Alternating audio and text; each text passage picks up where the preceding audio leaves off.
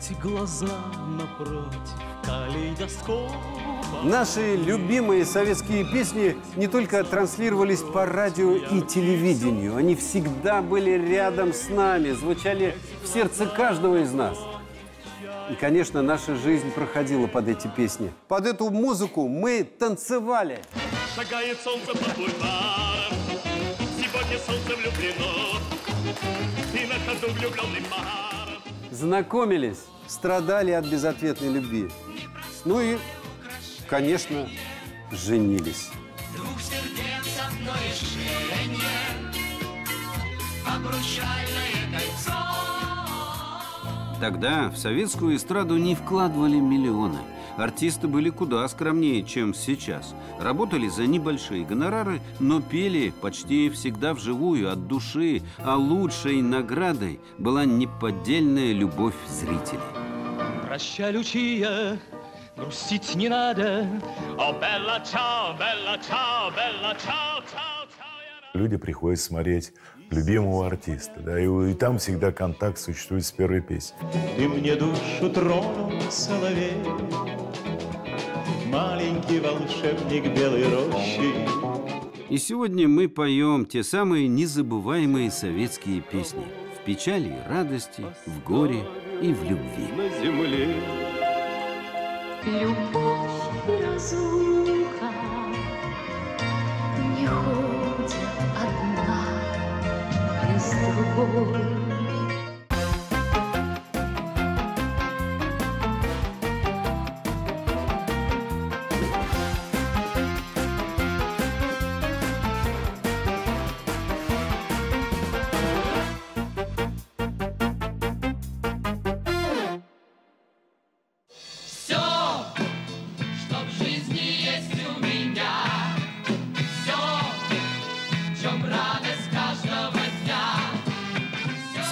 Беликов попал в самоцветы в середине 70-х. Слава этого ансамбля гремела по всей стране. Впрочем, и сам Беликов был не лыком шит. Играл в «Араксе», коллективе, который был приписан к модному столичному театру «Ленком». Но что такое «Аракс» против самоцветов? И тут тебе говорят, Сереж, ну, ты будешь работать, во-первых, больше концертов. Ты будешь работать на более крупных площадках. Ты еще будешь более обеспеченный человек материально. Связано, связано только с тобой. Эпоха ВИА вокально-инструментальных ансамблей началась с конца 60-х. И они стали нашим ответом загнивающему Западу. Ну, у них, к примеру, Битлз или Роллинг Стоунс, а у нас поющие гитары. Хотя наши артисты старались подражать западным звездам и тому, как они ведут себя на сцене, как одеваются, но все в меру, конечно, с учетом особенностей нашей идеологии. Группы «Ариэль» и «Песнеры» ориентировались на фольклор. Ну а ансамбль «Самоцветы» исполнял в основном комсомольско-патриотические песни. Моя ты зелеными улица, моя ты Советский Союз. Я там, где ребята толковые, я там, где плакаты вперед, где песни рабочие, новые, страна трудовая поет. Что не нравилось? Э, Контроль. Контроль и установленные рамки творческие, потому что установки Министерства культуры были таковы, что надо было петь песни определенных авторов. Это все время была э, вот так э, тонкая грань, когда есть такое слово «худсовет». И вот она, отличительная особенность советской эстрады. Творческой свободой, в самом прямом смысле слова, здесь и не пахло. Всегда над Творцом нависала тень контролирующего органа. Бороться с этой тенью было бесполезно. Юрий Лоза это тоже быстро понял, когда в 82-м его песню «Плод» разнесли в пух и прах. Мне плод черкали и черкали весь. Не туда плывем, не так все это устроено, как бы там, то есть по-другому как-то надо петь, более торжественно, более бравурно, указывая путь, в котором мы движемся. То есть песня их не устраивала в этом плане. Вообще, эстрада в широком смысле – это и танцы, и разговорный жанр, и даже выступления иллюзионистов. Но в Советском Союзе артистами эстрады в первую очередь считали исполнителей популярных песен. Но быть артистом эстрады, а также писать тексты или музыку для эстрадных песен означало только одно – ты работаешь в штате филармонии или какой-либо концертной организации. Можно было подать заявку любому коллективу, прийти в филармонию и сказать, мы хотим у вас работать. Филармония устраивала прослушивание, если коллектив их устраивал, брали на работу. Так получилось с нами, когда мы, как самодеятельность Иркутского аэропорта, подали заявку в четыре, э, четыре филармонии, предложили нам свои услуги. У меня в руках раритетный двойной альбом Алла Пугачева «Как тревожен этот путь». Ну, меломаны его сразу узнали. Послушаем.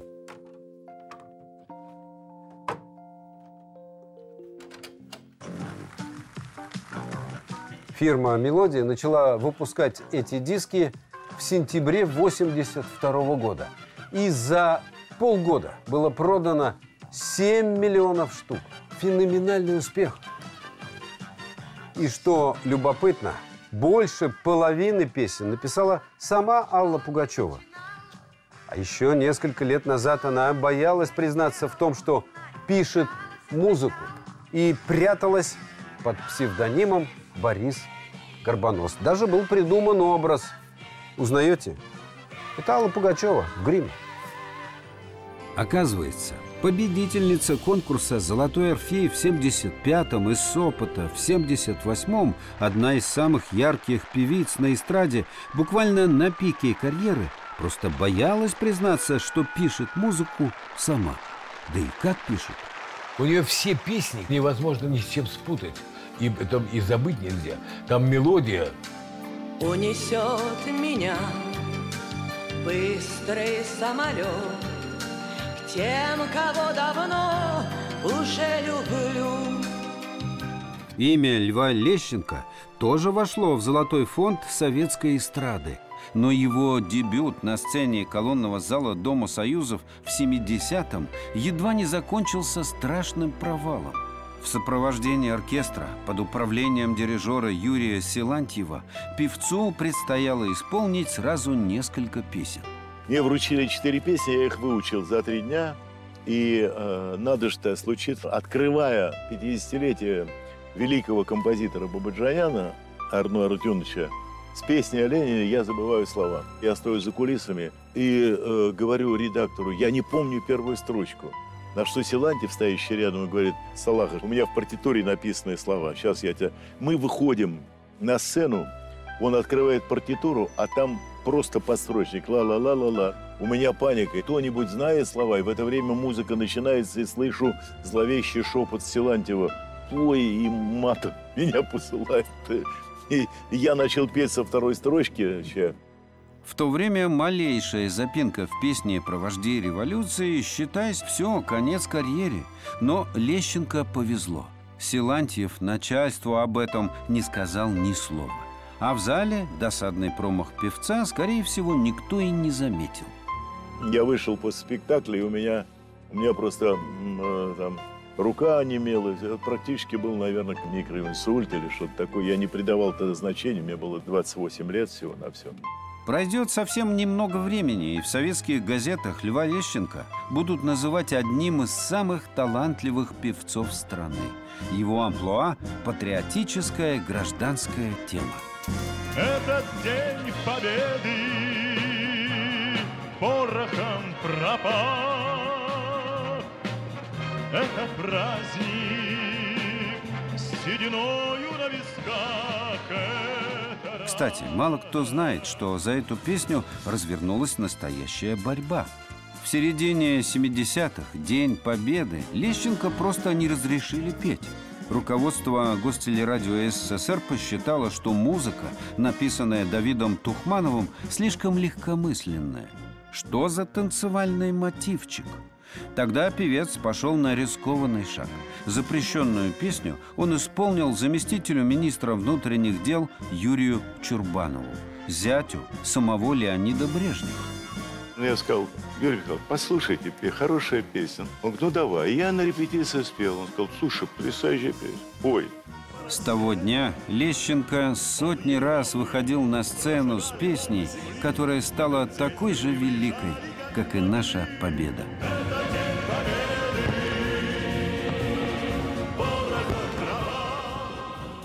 Патриотическая песня на советской эстраде всегда была под номером один. Он сказал, поехали, он взмахнул рукой, словно вдаль по питерской, питерской пронесся над землей. Признанные корифеи этого жанра Александра Пахмутова и Николай Добронравов. Эта супружеская пара написала больше 400 песен, многие из них вошли в историю. Например, вот эта родилась в 1974 году.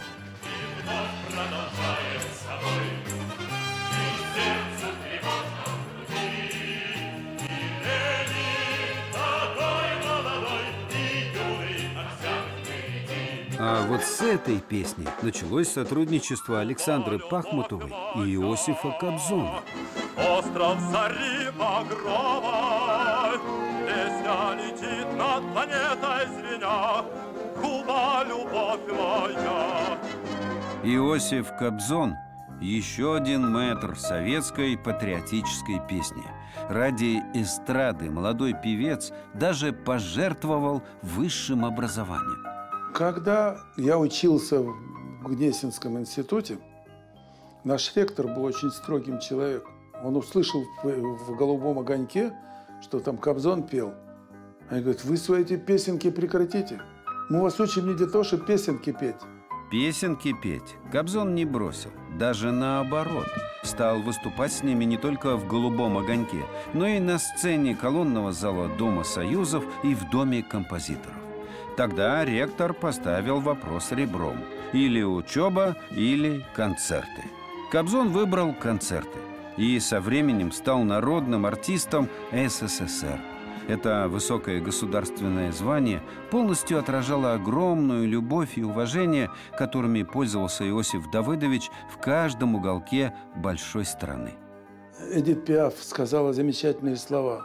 Очень много поющих артистов. Но дайте мне личность. Вы посмотрите, у нас были тысячи исполнителей. Козин Вадим Алексеевич остался, Утесов Леонид Ильич остался, и Петр Лещенко, Шульженко Клавдия Ивановна, Русланова Лидия Андреевна, Бернес Марк Наумович. Почему эти именно люди остались? Это люди, которые пели для людей и сопереживали вместе с ними. Они чувствовали, что они пели. За народное направление на эстраде отвечала Людмила Зыкина. Сказала мать, бывает все, сынок. Поговаривали, что Леонид Брежнев называл ее певицей номер один. Он высоко ценил ее голос. Глубокий, низкий, чарующий. Но просто она была фигурой. Ну, в прямом и переносном смысле была фигурой в нашем, э, в нашем, конечно, искусстве. Но советская эстрада не была застегнута на все пуговицы. В концертах вместе с песнями официальными, которые и строить, и жить помогали, обязательно звучали совсем другие по тональности. Душевные, лирические, проникновенные. О любви, вере и надежде. Надежда, компас земной, а удача награда за смелость.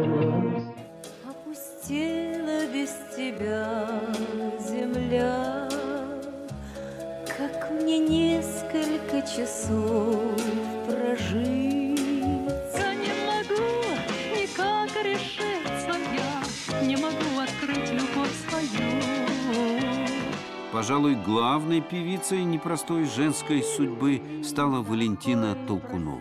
Наша Валечка, так ее нежно и ласково называли в народе. Ты заболеешь, я приду, боль разведу руками. Все я сумею, все смогу. Сердце мое не камень. Она была и замечательный человек. Она была просто чудная вот в общении, э, в отношении к людям, к музыкантам. Вы знаете, люди все-таки чувствуют искренность. Вот я вам скажу, что на концертах вот иногда бывает тоже, да, вот там усталый, там голос не звучит, там перелеты, все. Но если зритель чувствует искренность, он тебе все прощает. Так оно и было. Зритель звездам прощал все. Но и критики в адрес советской эстрады звучало немало. В упрек эстрадным артистам часто ставили одинаковую манеру исполнения, не говоря уже об однотипном репертуаре. Но при этом ярким личностям, не похожим на большинство, пробиться было непросто. Тогда очень сложно было. Причиной было не то, что кто-то кого-то не любил. Это была идеологическая причина. Это было э, направление в культуре, которым руководила Коммунистическая партия Советского Союза. Все. Идеологический отдел. Юрий Антонов знает, о чем говорит. Он долгие годы был не в ладах с идеологическим отделом ЦК.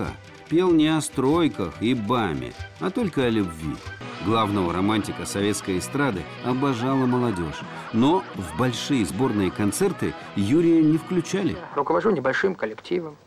Пою, играю, сочиняю. О, такой что, композитор? Правда, не член Союза. Что вы говорите? Да и в ближайшее время не светит.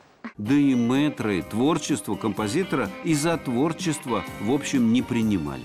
А может, боялись конкуренции? Юрий Михайлович для нас, Юры, э, как бы у нас на глазах бился за те песни, которые потом были бомбами. Поверь мечту,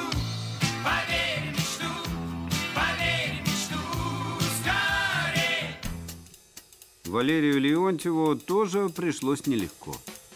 Певец будоражил уже одним своим внешним видом. Густая шевелюра, белые брючки, обувь на каблуке. Этакий советский Мик Джаггер. Леонтьев ворвался на эстраду словно ураган. Знойный, страстный и совершенно неподражаемый.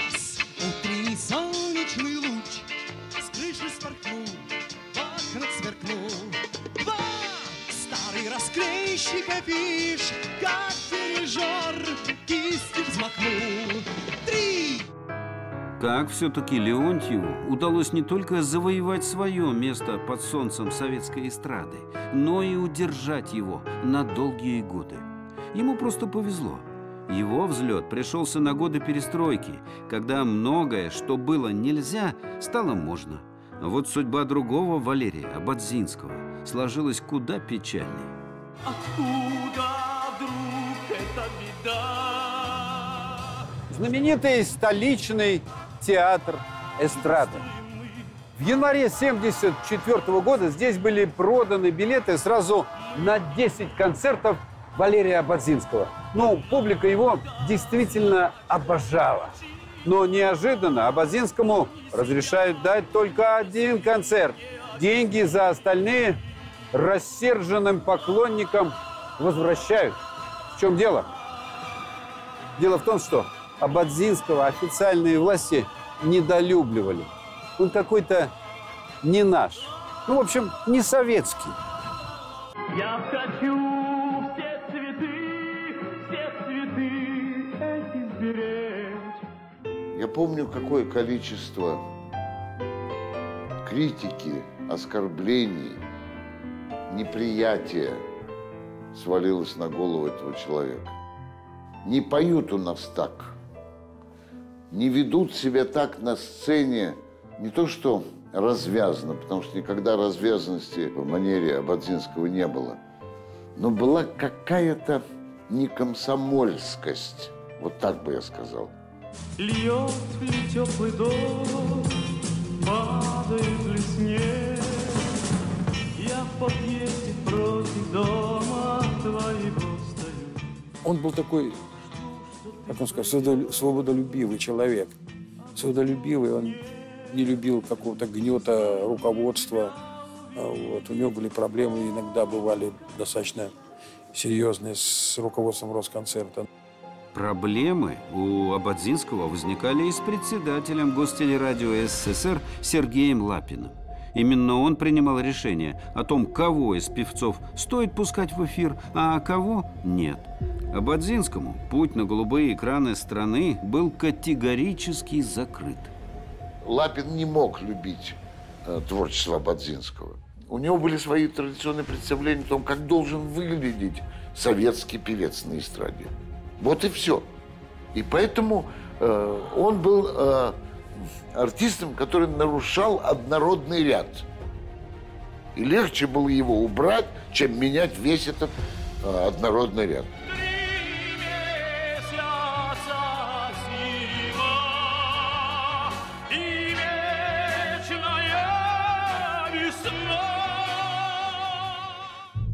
Лапин сыграл отрицательную роль и в судьбе Паллада Бюльбюль-Аглы. Быть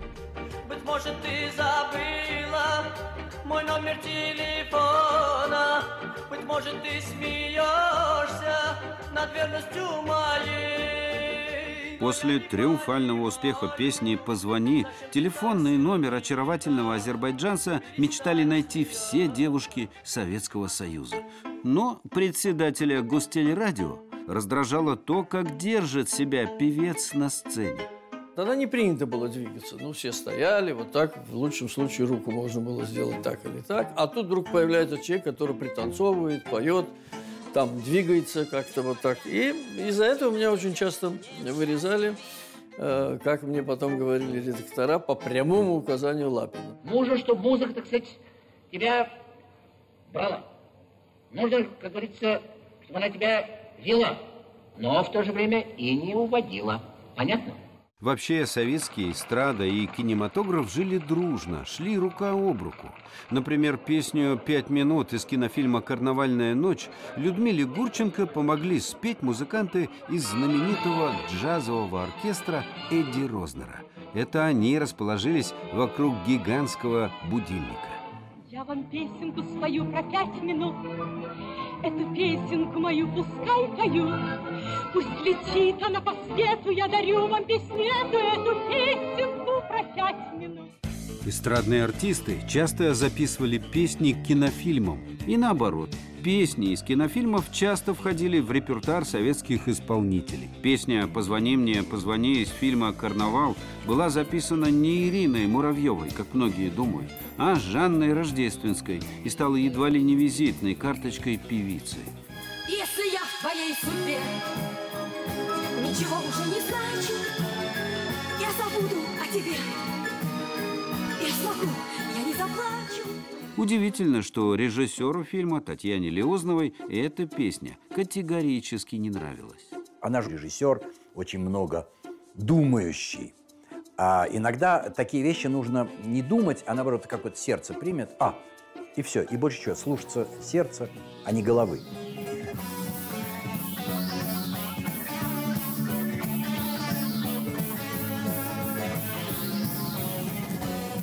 Это она не очень хотела, хотя и сняла первый, можно сказать, настоящий клип на нашем, в нашем кино и нашем телевидении. Но, конечно, советская эстрада – это не только Москва. Это вся страна с ее союзными республиками. Они делегировали своих лучших исполнителей на всесоюзную сцену. Прибалтику представляли Тынис Мяги, спасите, спасите,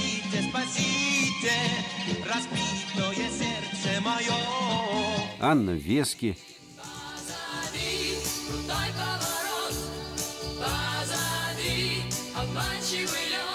Раймонд Паулс,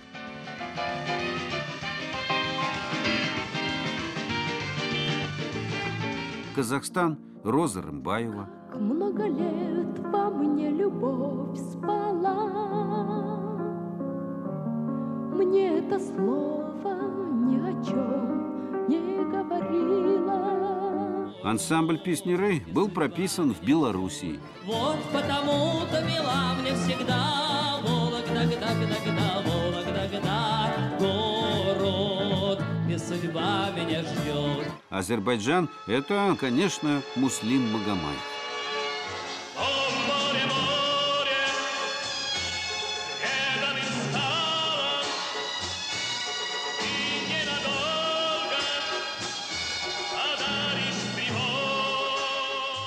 Муслим Магомаев же талант. Ну нельзя же сказать, что его любили только потому, что он был красавец и, не знаю, там был вхож. Э, Хотя я его лично знал. Скромнейший, потрясающий человек, музыкант настоящий. Перед ним невозможно было не, не склонить голову, понимаете? За Магомаевым прочно закрепилось звание певца номер один на советской эстраде. Его любили и простые слушатели, и руководители страны. Кстати, именно Муслеем сыграл важную роль в творческой судьбе своего земляка и друга детства Паллада Бюльбюль-Аглы. Паллад, композитор, тогда еще не певец, предложил Магомаеву исполнить свои песни. Меня зовут Палат Бюльбюль Оглы. Я пишу песни. И очень хорошо помню, как это было в первый раз. Тогда я написал специально для Муслима две песни «Вечерний Баку» и «Бакинская осень». И Муслим ее записал здесь, на Всесоюзном радио. И, и тогда же мне предложили самому спеть. Ветер однажды песнь донес. Ну, и это явилось вот таким ключиком уже к моему выходу на э, как бы всесоюзную арену. Гастрольная жизнь в СССР была организована с размахом. Все как на производстве. Принимался даже всесоюзный гастрольно-концертный план сроком на пять лет. Простите, вагон ресторан с той стороны? Здравствуйте. Здрасте. Вы товарищ Иосиф Кобзон? Нет. Настоящим рекордсменом по концертам в регионах был Иосиф Кобзон. Среди артистов даже ходила поговорка «Ну, ты ездишь прямо как Кобзон». Кобзон был больше, чем просто певец. Для многих своих поклонников он стал помощником и защитником. На моих глазах женщина говорит, ну, говорит, я, говорит, инвалид, говорит. А живу где-то в Сибири, будки телефонной даже нет. Ося лично позвонил, значит, первому секретарю и сказал, моя личная просьба, пожалуйста, поставь. Через два дня ей поставили телефон, через два дня. Однажды связи Кобзона помогли и Палладу Бюльбюляглы. Мало кто знает, что самым приоритетным гастрольным направлением у наших артистов были африканские страны, потому что гонорары там были выше, чем за европейские турне. И вот Бюльбюль-Аглы собирает чемоданы в экваториальную Гвинею. И вдруг его останавливают. Не отработал положенный концерт на БАМе. В коридоре идет навстречу Иосиф Давыдович. Слушай, у меня, говорит, хороший приятель, первый секретарь горкома Тынды. А Тында считалась столицей БАМа. Давай, говорит, пойдем мы позвоним. Если он там, ну что, слетаешь, говорит, на два дня, там, дашь четыре концерта. Ну и галочка будет, что ты был. И Бюльбюль-Аглы полетел на БАМ, а с ним и его музыканты. Этот концерт в Тынде, в зале без отопления, а за окном минус 45, они запомнили на всю жизнь. Мне трубач говорит, шеф, я играю, труба примерзает, говорит, губам, я играть не могу, минусовать. Я, как играть не можешь, ты где твой патриотизм, давай играть. То есть вот такие тоже были моменты. Но мы, несмотря на, ни на все, мы, мы все равно радовались общению со зрителем, с людьми. Что такое райдер? А это перечень условий и требований к принимающей стороне советские артисты толком и не знали. У Шульженко, у Бернеса, у Утесова, Руслановой, у Зыкиной никогда не было ни одного охранника. Никаких охранников. Зачем их охранять? Их любовь людская, любовь народная охраняла, и Всевышний их охранял. Наши исполнители были не только образцом скромности, но и профессионализма. Пели только вживую, за фанеру могли и наказать. Хотели даже тогда як Йолу из Всесоюзного гастрольного концертного плана вычеркнуть, потому что он на, нескольких, на нескольких концертах под фанеру пел. Это отследили тогда очень серьезно. У каждого гастролирующего артиста была своя квалификация. До 1988 года у артиста эстрады была ставка 7 рублей 40 копеек за сольный концерт. И это при средней зарплате по стране 190 рублей. Прямо скажем, деньги не ахти. Юрий Лоза, как участник группы «Интеграл», зарабатывал еще меньше – 5 рублей 60 копеек за концерт. Но удивительное дело – музыканты всегда находили пути для дополнительного заработка. Поэтому существовала система накруток всяких разных там. Допустим, четвертушка за сольное исполнение, там, четвертушка за подпевки, четвертушка за подноской и так далее. То есть а, за какие-то дополнительные вещи можно было получить больше денег. За звание доплачивали. Скажем, у тех же песнеров ставка была намного выше, потому что они все были заслуженные народные, Белорусская ССР. Лишь только подснежник распустится в срок, Лишь только раскатятся первые грозы. История первых советских хит-парадов началась с газеты «Московский комсомолец» в 1977 году. И это был совершенно честный подсчет голосов за ту или иную песню. Звуковой дорожке голосовали сами читатели. В 1977-м в десятку лучших вошли, например, Пугачева с песней «Не отрекаются, любя», Лещенко и его «Соловьиная роща», а первое место заняла София Ротару с песней композитора Давида Тухманова «Родина моя» на стихи Роберта Рождественского. Над тобою солнце светит, Отдельная история – это левые концерты, когда артисты получали деньги за свои выступления, которые организовывали без ведома собственных филармоний и союз концерта. Причем этим грешили абсолютно все. И именитые, и не очень.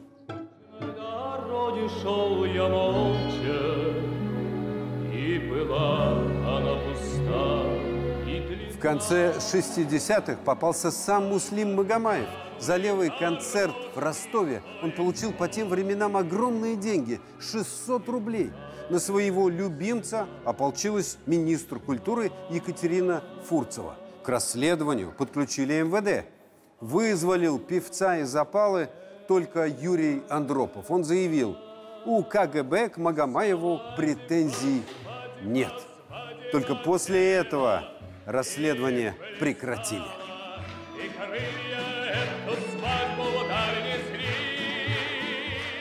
Закон нарушали все без исключения, как и ваш покорный слуга, если он принимал участие в концерте без официальных документов на этот концерт. Но если на этот концерт были официальные документы, очень трудно было доплачивать что-то исполнителю. Больше, чем ему определено государством. Вот и все. Был и еще один любопытный способ дополнительного, ну и, конечно, незаконного обогащения. Одни и те же билеты продавали по два раза. То есть один раз вы отчитались перед филармонией, а второй раз вы за них взяли деньги в собственный карман. Билеты изымаются при входе, потом пускаются в оборот по второму разу. Гладятся утюгом. Ну, где-то там на периферии вы проводите концерт, который трудно отследить. Идет большое количество народу. Часть билетов просто забираете говорит, ну, садись куда попал. И таким образом у вас на руках оказываются те же билеты, которые уже были проданы. Параллельно с советской эстрадой в стране существовала, ну, вернее, пыталась пробиться сквозь асфальт к солнцу и музыка неофициальная. Подпольные молодежные группы со своими нелегальными концертами вот в подобных клубах и ДК вызывали настоящий гнев правоохранительных органов и, естественно, партийных. Раздражало не только то, что они играют, а это была не обязательно западная музыка, но и композиции собственного сочинения, часто на антисоветские стихи. Еще и внешний вид, конечно, вызывал отторжение. Длинные волосы, джинсы расклешенные. Ну, безобразие же. Самое печальное во всей нашей истории, что были самородки, но им хода не было. И группы во время моего как бы юношества, они возникали как нелегальные, и за ними бегали АБХСС, была такая организация, были всякие репрессивные рейды. Александр Левшин уже в старших классах средней школы играл в группе «Авангард». Она базировалась в Мытищах. Никакой прописки ни в каком музыкальном ведомстве у ребят не было. Но милиция их терпела. Они по договору играли на танцплощадках. Хотя однажды нервы у милиционеров не выдержали. рокеров повязали прямо в центре Москвы на улице Горького. Мы шли гуськом, лохматые, длинные, и вот так, «А-а-а», такие вот все. Милиция нас смотрела, потом сказала налево, мы пошли налево, но мы же дисциплинированные рокеры были. И нас завели там в эту в комнату, значит, приемный покой, как они нам сказали. И мы по периметру сели. У нас паспортов не было.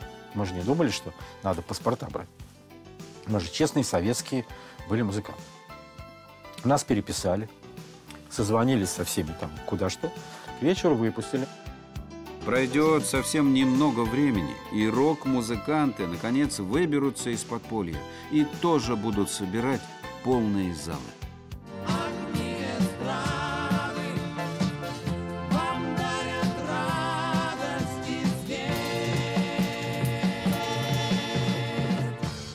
Совсем скоро огни эстрады загорятся и на стадионах.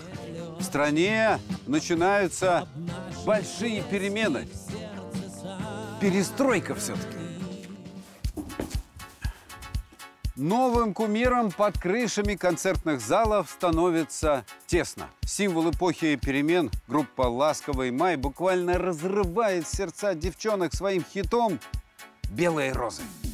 Ее юный солист, воспитанник детского дома из Оренбурга Юра Шутунов мгновенно завоевывает миллионы зрителей. И даже не своим безыскусным пением, а тем, что он свой, такой же, как все. Ну а критика? Критика его уничтожает.